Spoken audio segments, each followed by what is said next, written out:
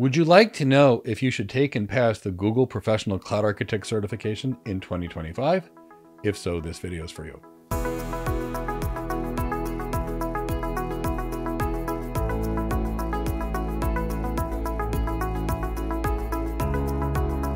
My name is Mike Gibbs. I'm the CEO of Go Cloud Careers, and I've helped countless cloud architects uh, get their first tech job, get promoted in tech. And today we're going to talk about the Google Professional Cloud Architect certification and is it worth it in 2025 and beyond. Now, I'm going to tell you right now, if you wait until the end of this video, I will have a special gift that will make watching this video very worthwhile for you. So please stick around into the end. But in this video, we're going to talk about what is the Google Professional Cloud Architect certification. We'll talk about the strengths and weaknesses of the Google Professional Cloud Architect certification. I'll briefly compare it to, say, the AWS Solutions Architect Professional or an Azure Solutions Architect Expert exam.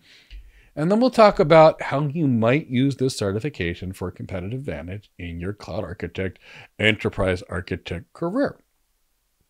So, if we begin by what is the Google Professional Cloud Architect? Well, it is the Google's peer equivalent of, say, the AWS Solutions Architect Professional or the Azure Solutions Architect Expert. So, it's geared towards solutions architects. It uh, is a a technical exam as opposed to the cloud architect uh, real job or the solutions architect real job which has a lot of business skills in it which are not covered in this exam but this is a technical certification so we'll talk about that now i'm going to tell you right now the google professional cloud architect exam and certification is very straightforward.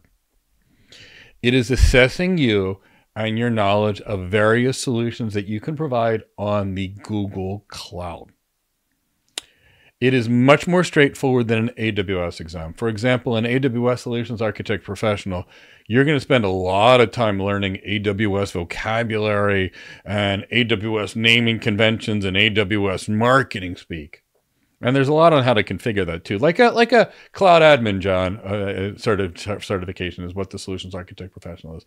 By comparison, Google's exam is more architecture oriented and it is more straightforward.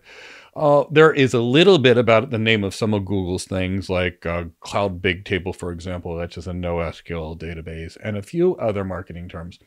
But for the most part, the Google exam is uh, more about Google offerings and how Google technologies and cloud technologies can be used to assist the business in their technical goals. So it is much more architecture related than you would get out of, say, the AWS Solutions Architect Professional. That's pure cloud administration.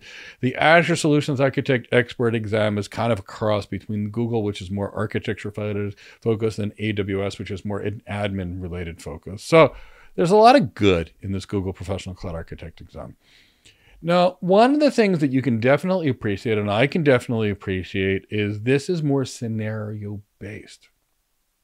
So it's more architecture related. They give you several companies like Mountkirk Games, and there you're focusing on designing, say, scalable and reliable gaming infrastructure on Google Cloud or it'll be related to Team Earth, which is creating IoT solutions, for example, for heavy machinery collecting data, or there'll be something related to EHR healthcare, which is more related to electronic health records and moving them on the cloud and securing them.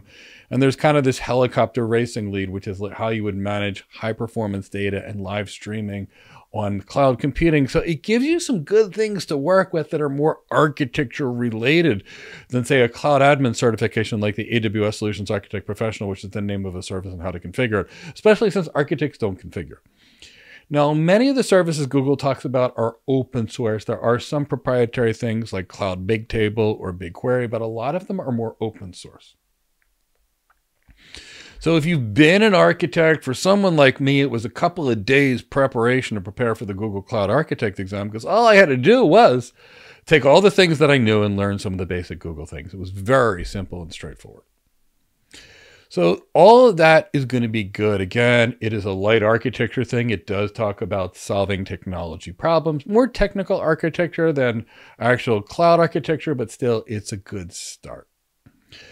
So another strength of the professional cloud architect exam is not a lot of people have it. Now, if you asked me if you should take this exam two years ago, I would probably say no. And the reason is what we're doing when we look for these architecture exams, because they don't have a lot to do with architecture, is we're looking to build our brand and get an interview. And two to three years ago, I would say use AWS or Azure because they have the majority of the market share.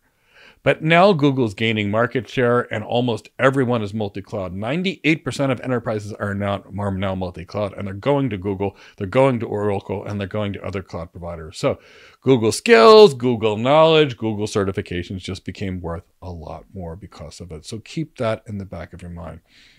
Now, there's not a lot of demand for this compared to the Google Professional Cloud Architect compared to an AWS Solutions Architect Professional or an Azure Solutions Architect Expert. But the demand is growing and it's always good to be an early mover. Like I said, please wait till the end. I got a surprise for you that I think is going to be very worth for you all waiting. And more and more workloads are going to Google Cloud. So let's keep that in the back of your mind. So we get a little less brand recognition out of the Google Professional Cloud Architect certification than we would with, say, the AWS or the Azure one, which is not as good. But uh, there's more workloads going every day to the Google Cloud, so it's good to come early as well. Now, I want to make it clear that none of these, the AWS Solutions Architect Professional, the Azure Solutions Architect Expert, a Google Professional Cloud Architect, are going to be enough for the job. But you know, there is still some. I'd say you get about 10% of the skills you need out of the Google Professional Cloud Architect exam. Now, what will these certifications do? They will help you get an interview, and that's awesome. So here's my certification recommendations. These are my favorite certifications. It's what I teach every cloud architect that I ever train.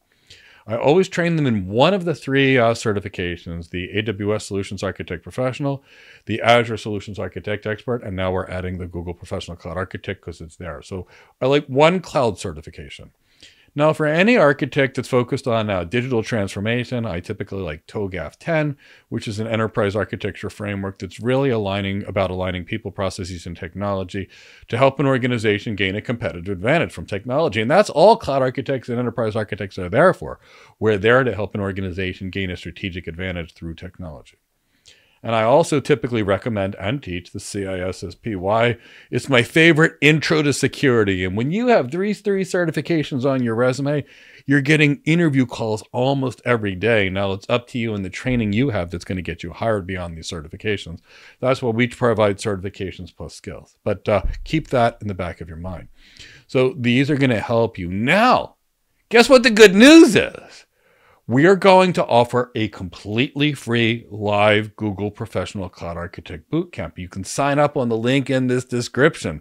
It's a complete Google Professional Cloud Architect course to prepare you for the Google Professional Cloud Architect exam and the Google Professional Cloud Architect certification.